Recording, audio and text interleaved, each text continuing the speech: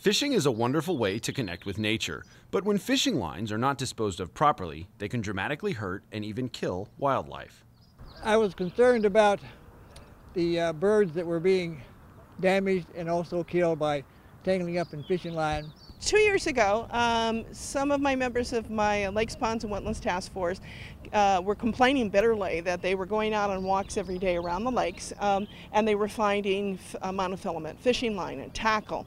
And um, they were also involved in bird rescue and they were seeing what was happening is that this line and hooks were becoming entangled with the birds.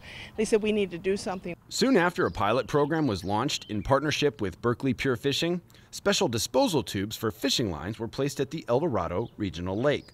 These disposal tubes allow anglers to put fishing line in, but don't let the lines come back out.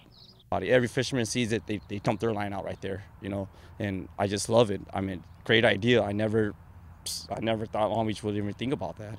Audubon's perspective is this is great because our mission is protection of native birds and their habitats. This is definitely habitat. We're going to be developing a, a, a display that helps um, get this message out to all of our guests. We get about a million and a half visitors a year, so that's uh, a lot of potential anglers out there who can be educated about ways to protect the environment. The response has been so positive that the Reel Recycling program is being expanded to include all piers in Long Beach. This way, everywhere fishing is taking place throughout our city, whether it be in a pond or in the ocean, there is a disposal tube right on site.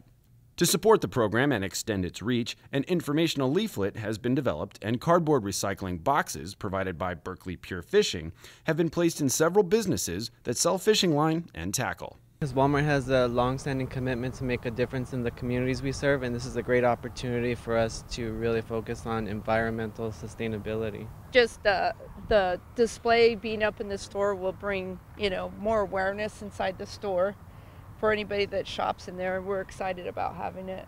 We have a lot of recycling programs inside of Kmart.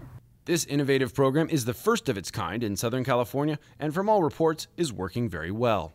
Oh, I mean, initially it's great. Everybody uses it. Everybody uses it. It's better than putting it in a trash can. People pick out the trash all the time and it gets tangled out and they don't care, you know.